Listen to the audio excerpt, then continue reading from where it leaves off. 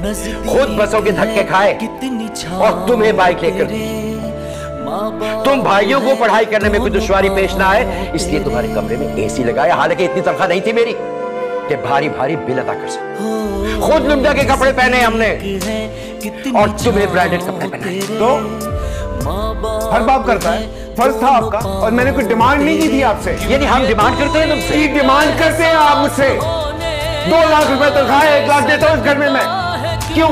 इसलिए कि आप पूरे हो गए और जिम्मेदारियाँ पूरी नहीं कर सकते इस घर की। हकीकत यही है कि आपको इस लम्हे में मेरी नहीं मेरे पैसों की ज़रूरत है। मान ले ये बात। माँ मुझको झुलाओ ना झूला रे माँ मुझको झुलाओ ना झूला। जो कुछ कर सकता था मैं अपनी औलाद के लिए